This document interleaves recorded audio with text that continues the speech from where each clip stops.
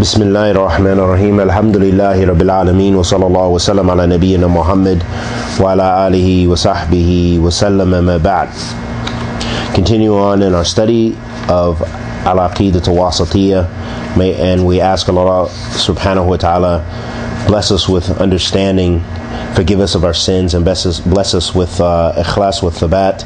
And may Allah ta'ala bless us with tawfiq in our studies and bless us to do it for His sake, seeking His face, subhanahu wa ta'ala. And may Allah ta'ala bless us with Jannah of those and bless the Muslims everywhere. Ameen, Ya Rabbil Alameen. So continue on in our treaties. Shaykh al-Islam, rahimahullah ta'ala, he said in his treatise, إثبات السمع والبصر لله ta'ala. So the affirmation of hearing and seeing for Allah the Almighty, and we already talked about this countless and countless uh, lessons of ours in the same treatise at the beginning. So if you have a chance to go back, you'll be able to get maybe some more details, but we'll just uh, quickly go through it as Shaykh al-Islam intended it to affirm those two attributes of Allah subhanahu wa ta'ala that Allah subhanahu wa ta'ala possesses hearing and, and, and sight that he is the all hearing the all seeing and nothing uh, escapes his hearing and his seeing and his knowledge subhanahu wa ta'ala. And he is the creator of all things subhanahu. Wa qawluhu قد سمع الله قول التي تجادل تجادلك في زوجها وتشتكي إلى الله والله يسمع تحاوركما إن الله سميع بصير. وقوله لقد سمع الله قول الذين قالوا إن الله فقير ونحن أغنياء. وقوله أم يحسبون أنا لا نسمع سرهم ونجواهم؟ بلى ورسولنا لدي لديهم يكتبون. وقوله إني معكما أسمع وأرى. وقوله ألم يعلم بأن الله يرى. وقوله الذي يراك حين تقوم وتقلبك في ساجدين. وقوله وقل اعلم لع وقل وقل اعملوا فسيرى الله عملك عملكم ورسوله والمؤمنون. So in these verses of the Quran, Allah subhanahu wa ta'ala says in the first verse, He says, Indeed, Allah has heard the statement of her that disputes with you concerning her husband and complains to Allah, and Allah hears the argument between you both. Verily, Allah is all hearer, all seer. And Allah subhanahu wa ta'ala says, Indeed, Allah has heard the statement of those who say, Truly, Allah is poor and we are rich. And Allah subhanahu wa ta'ala says, Or do they think that we hear not their secrets and their private counsel? Yes, we do, and our messengers, meaning the angels, are by, are by them to record. And Allah subhanahu wa ta'ala the Almighty says, Verily I am with you both, hearing and seeing.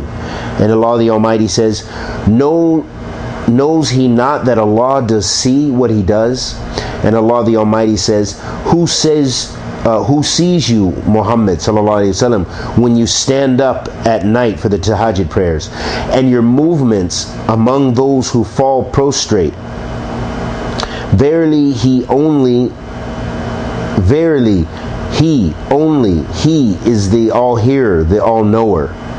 And Allah the Almighty says, and say, O Muhammad, do deeds, Allah will see your deeds, and so will His messenger and the believers. All of those verses, they establish for us the, that Allah subhanahu wa ta'ala is the all seeing and all hearing. And that those are divine attributes of Allah subhanahu wa ta'ala that He possesses. Uh, and His attributes, there is no resemblance between Him and His uh, creatures, as Allah subhanahu wa ta'ala's seeing and hearing is perfect, without bounds, and ours is limited. Our hearing and our sight as creatures are limited and imperfect, which is in contradiction to the one who created the heavens and earth, as-sami'u basir, that he is the all-hearing and all-seeing. And so that is the primary um, thing we want to gain from those verses pertinent to our study is that Ahl Sunnah they affirm those attributes which Allah subhanahu wa ta'ala affirms for himself, like hearing and, and seeing, and that though and that Allah subhanahu wa ta'ala hears and sees in reality in a manner that suits his majesty and he has no and he is free from resembling his creatures and free from any and all imperfections. Subhanahu wa ta'ala. And as Allah subhanahu wa ta'ala says and we've mentioned this ayat in almost every lesson that we've had where Allah subhanahu wa ta'ala says basir. That there is none that resembles him and He is the all hearing and the all seeing. So, this again, this verse in the verse that we just mentioned, which was not mentioned in the text there by Shaykh al Islam, as he mentioned it prior, uh, prior to this portion of the text, where Allah subhanahu wa ta'ala frees himself from any resemblance between his attributes and the attributes of his creatures. And this is nafi, as we mentioned, a negation. And then he affirms for himself, subhanahu wa ta'ala, that he has the divine attributes of being the all seeing and the all hearing, or the all hearing and the all seeing. So he possesses the attributes of hearing and seeing, but it is not like his his creatures, as he as he negated that in the in the same ayat.